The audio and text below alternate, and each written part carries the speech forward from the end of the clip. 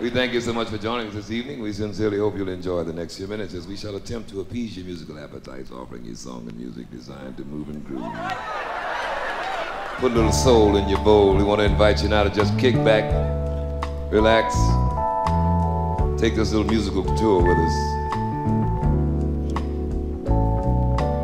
You don't have the guts to be what you want to be.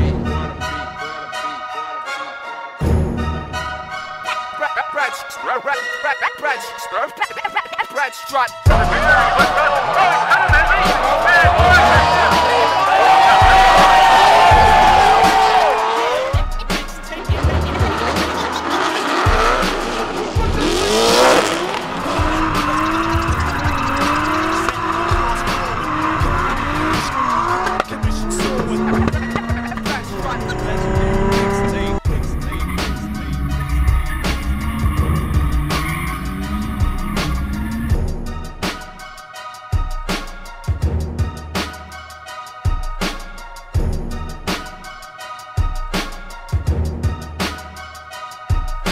people like me so you can point your fucking fingers and say, that's the bad guy.